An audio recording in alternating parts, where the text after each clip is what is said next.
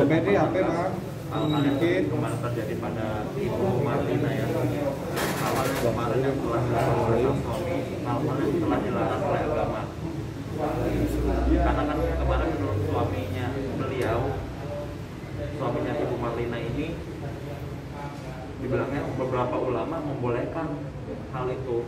Padahal kan secara agama Islam itu hal yang sangat dilarang, hal yang dilarang dan diharamkan tapi dibilangkan yang peraturannya itu beberapa MUI menghalalkan jadi dia ini hanya memastikan apakah itu dibenarkan atau dilarang agama Jadi memastikan ya. Iya, dan MUI juga harus mempertegas supaya tidak ada korban yang lain yang seperti ibu ini lagi tidak ada korban lain.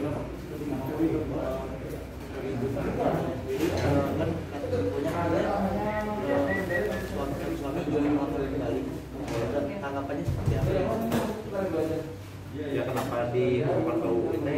Kan ibu ini yang merasa dizolimi. Kenapa dia dilakukan ke UITE? Dan sudah ada buktinya dari hasil visum itu. Apa hasil visum itu dibikin? Apa hasil visum itu dimanipulasi sama ini ibu ini? Secara di hasil itu dia sudah stadium 4 dan hal ini tidak normal buat saya.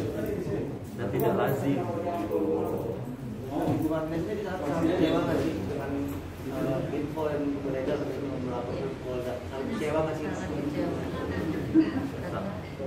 karena di kayak saya juga sebagai advokat juga sama kerja karena apa ini ibu ini kan hanya mengungkapkan kebenaran hanya berbicara speak up apa yang tidak benar kenapa ini bisa dilakukan? Ibu sendiri.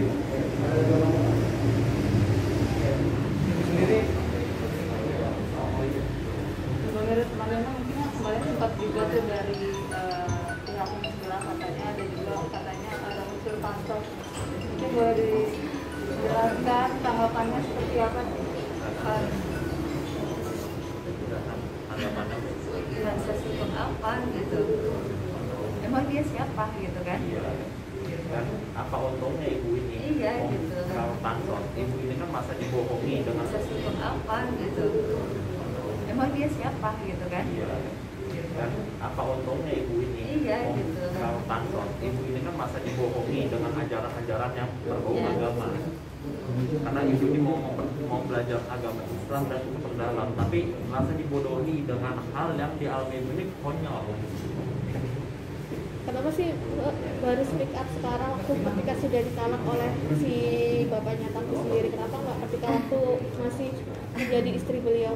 salah ditalak Kapan? bahkan ibu Oh, ini belum. setelah meminta cerai Oh, Cerai gitu. sang suami Nantilah tidak gitu, nanti. pernah Oh berarti sampai sekarang masih berstatus suami istri, suami istri. Gitu bahkan makanya ibu ini malah meminta untuk talak atau gugat cerai.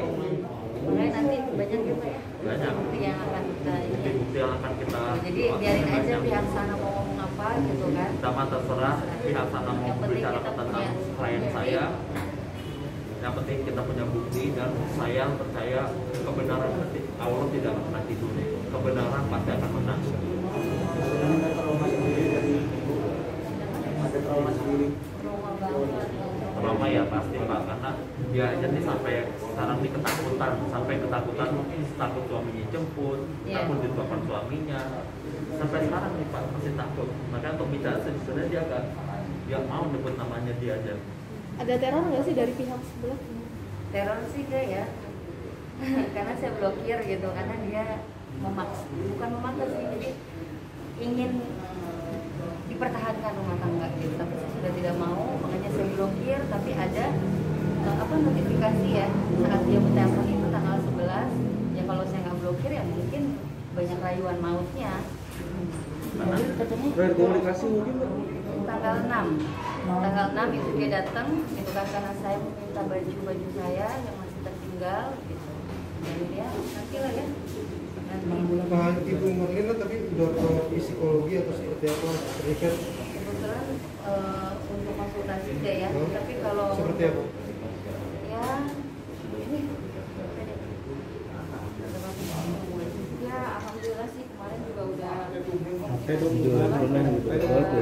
progres ya udah komunikasi karena memang dari pertama saya ketemu beda banget sama sekarang ya sekarang kalau ngomong kadang kayak bengong gitu dia nggak kurang connect lah jauh sama pertama saya ketemu sama beliau jauh banget.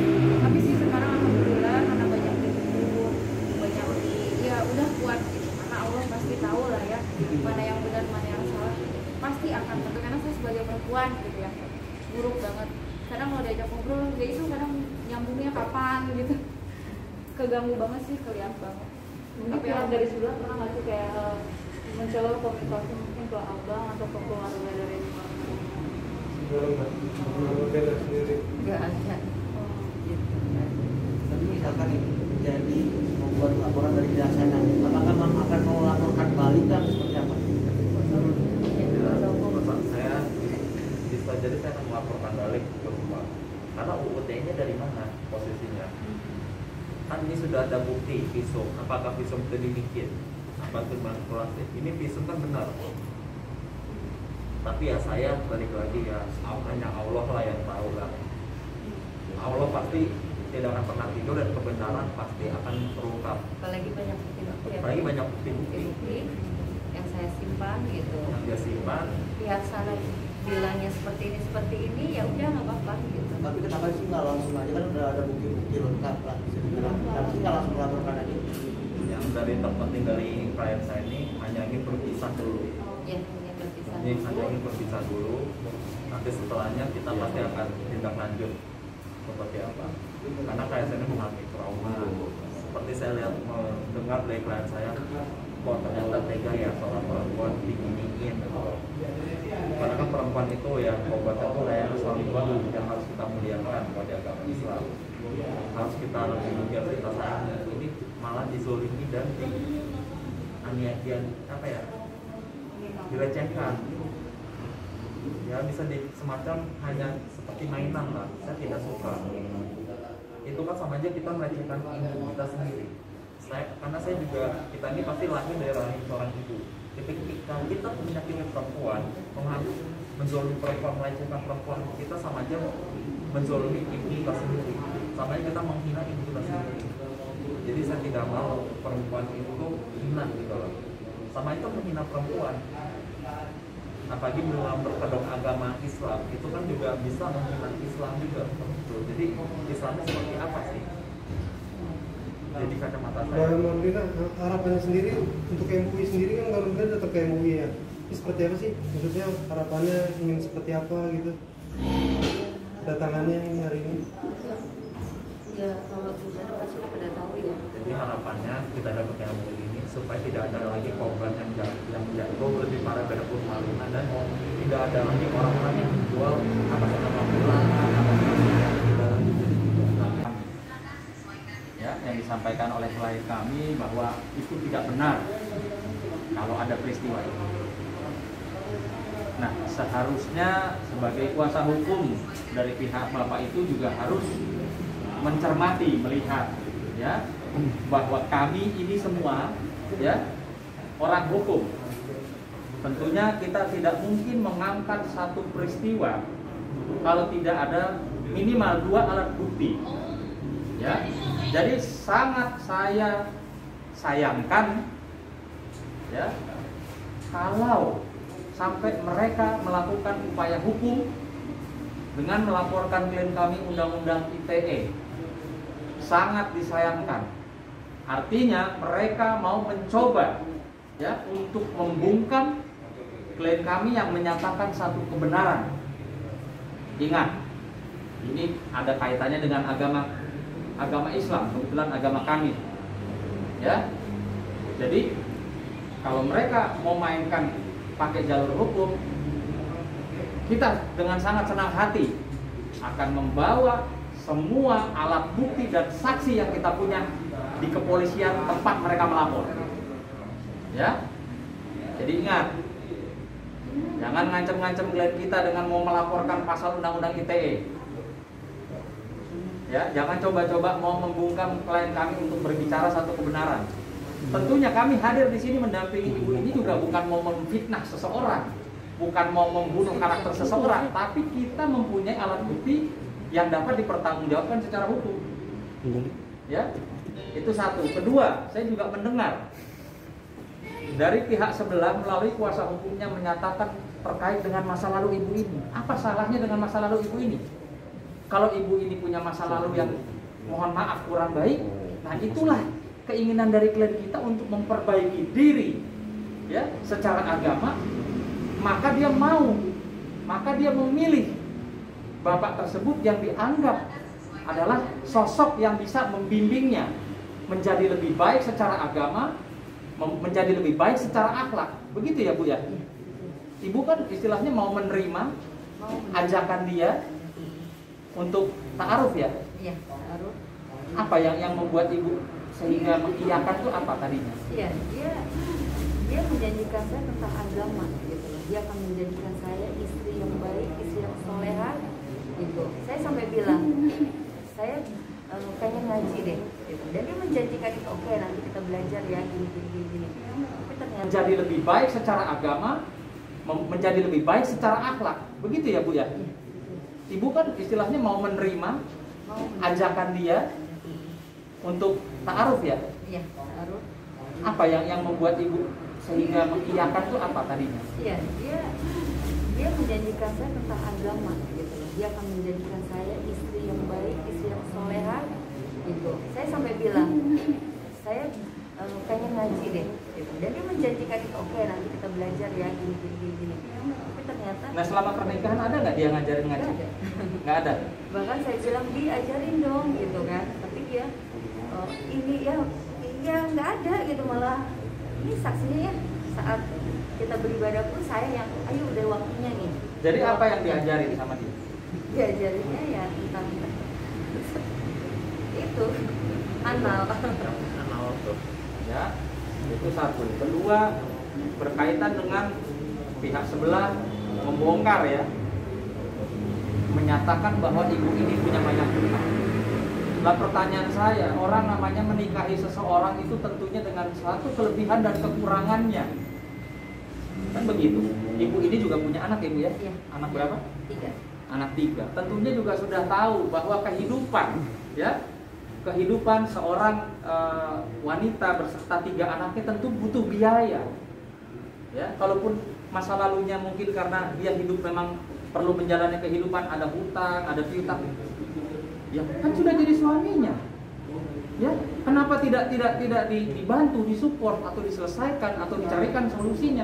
Jangan sekarang ngomong teriak-teriak ibu ini banyak hutang. Lah kan pasti ya bu ibu dari pertama sudah menyampaikan. Sudah dan itu hutangnya sekolah loh pak.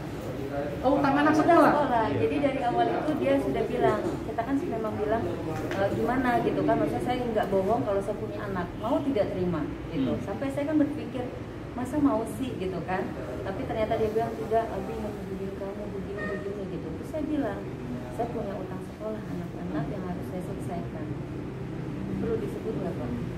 Nominalnya? Silakan. Cuma 15 juta. Dengan seorang dia beliau masa tidak sanggup gitu kan? Dari akhirnya saya minta 9 pada saat itu. Sampai akhirnya saya ceritain pak. Sampai lima. silakan bu. Sampai akhirnya pernikahan sekarang nggak makanya banyak yang bilang di media saya mengejar harta. Sampai saya itu harus mengontraki rumah saya untuk biaya hidup anak-anak saya. Udah abi begini kamu begini begini gitu. Terus saya bilang saya punya utang sekolah anak-anak yang harus saya selesaikan. Perlu disebut nggak pak? Nominalnya? Kisaran silakan. Cuma 15 juta. Dengan seorang dia beliau masa tidak sanggup gitu kan? Dari akhirnya saya minta 9 pada saat itu sampai akhirnya saya ceritain pak. Sampai lima. silakan bu. Sampai akhirnya pernikahan sekarang nggak makanya banyak yang bilang di media saya mengejar harta sampai saya itu harus mengontraki rumah saya untuk biaya hidup anak-anak saya. Gitu. jadi kalau dibilang saya mengejar harta harta apa yang dia punya gitu loh. Bahkan 15 juta aja dari 15 juta sampai 10 juta dia tidak mau bayar. Satu, satu peser pun. nggak ada satu peser pun. Dan itulah makanya nanti banyak gitu kan ya pak ya Jadi jadi jadi saya peringatkan nih, saya peringatkan sama kuasa hukumnya, ya, saya peringatkan dan sama orang tersebut jangan ya, jangan mengeluarkan sesuatu yang nanti akan jadi bumerang buat dirinya gitu loh ya. Ya, jangan menceritakan klien kita nih begini begitu ya. Ya, sementara faktanya tidak seperti itu. Sementara faktanya justru Anda yang tidak tidak tidak mampu ya, tidak mampu menjadi seorang kepala keluarga, ya tentunya apa namanya menghidupi keluarganya gitu. Nah, kok sekarang masalah-masalah ekonomi, masalah masa lalunya ibu ini, katakanlah seburuk-buruknya ibu ini di masa lalu. Makanya dia ingin memperbaiki diri dengan itikat baiknya, menerima ya, menerima ajakan istilahnya lamaran dari dari orang tersebut. Tapi sekarang apa yang dia dapat? Ya, janji ngajarin ngaji bu ya? Ya. Pernah nggak dalam selama masa pernikahan? Tidak ada. Udah tahu masalah hutang dari awal sebelum menikah? sudah. Ada nggak yang dibayarin hutangnya? nggak ada pak Nah. janji-janji Jadi tolong ya Pak pengacara kasih tahu juga kliennya jangan mengeluarkan omongan-omongan ya atau sesuatu yang tidak bisa dibuktikan. Gitu loh. Gak usah pakai asal IPL lah. Iya, ja- jangan asal asal ngomong lah gitu loh. Ngomong Ya. dulu. Kami sampai detik ini belum melakukan upaya hukum yang keras. Ya, artinya jangan mulai. Kalau kalian mulai mau main-main hukum, dengan senang hati kita layani. Ya, kami menunggu panggilan, kami akan beberkan semua. Tentunya saat ini kami secara profesi tidak bisa membeberkan alat bukti. Ya, tapi jangan jangan jangan